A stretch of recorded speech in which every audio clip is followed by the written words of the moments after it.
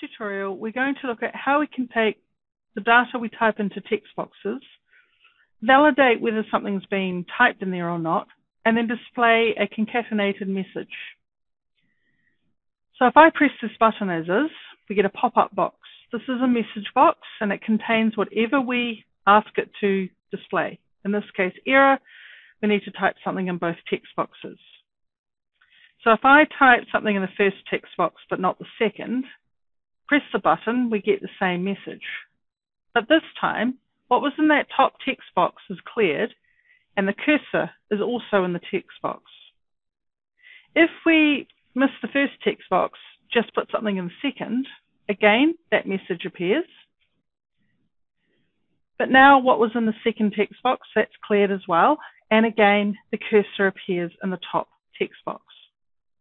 If, however, we get it right and we type something into both text boxes, we're now going to have a little personalized message appear in a label control. So look at the code behind the scenes. What I want to do is double click the button. And to bring our attention to the first line. This line is automatically generated when we double click the button.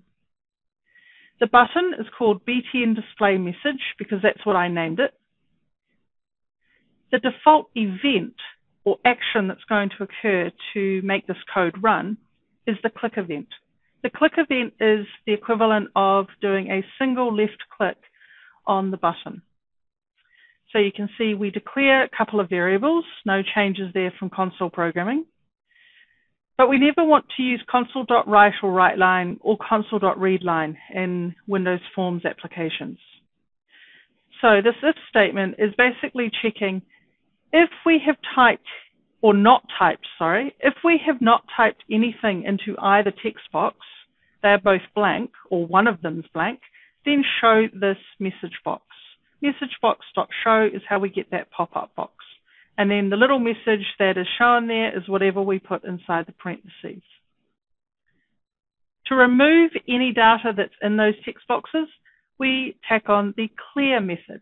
So the text property is to do with the data that we type or display in a text box.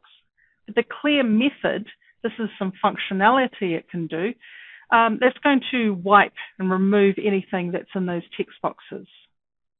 The select method we would want to associate with one of these text boxes only. This is the method that's going to put the cursor into that top text box.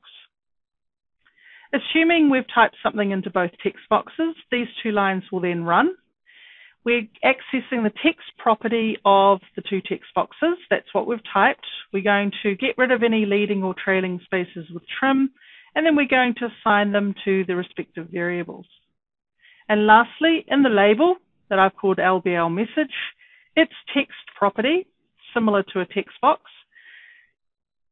is going to be assigned whatever we type as our concatenated message.